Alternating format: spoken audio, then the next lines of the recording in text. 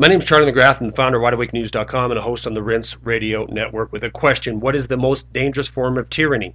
If you ask me, the, the answer is soft tyranny. This is the tyranny we have here in the United States. You see, in a country like North Korea, the people understand. They speak out against their government, they are dead. That is hard tyranny.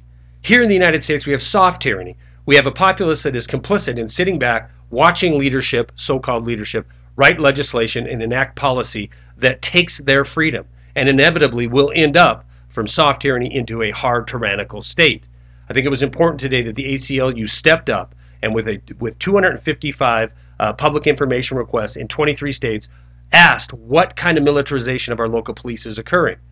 Now, uh, Allie Bohm is an advocate and also a strategist for the ACLU. She went on to say militarization of local police is a threat to every single American. We deserve to live without the worry of a militarized style intervention in our daily lives. This is 100% correct. We need to understand billions of rounds of ammunition, armored personnel carrier, uh, these military, uh, military style weapons that these police forces are uh, purchasing or being encouraged to purchase by the purchase by the federal government are being done so for a reason.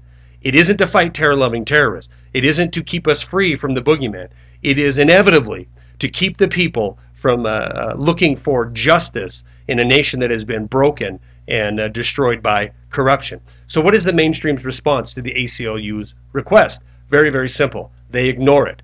But in counter, uh, in, in a counter move, they put out information such as the story that uh, was uh, run today in the Washington Times, a story how the drone industry could save economies in many states. In fact, it's saying that the drone industry is going to create 70,000 jobs and put 80 plus billion dollars uh, into the economy of the uh, of the United States of America.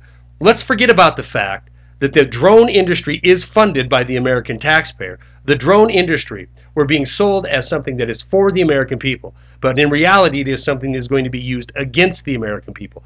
It's time to understand the difference between soft tyranny and hard tyranny, but truly we need to understand soft tyranny always leads to hard tyrannical rule. Stories are attached. That's all I got.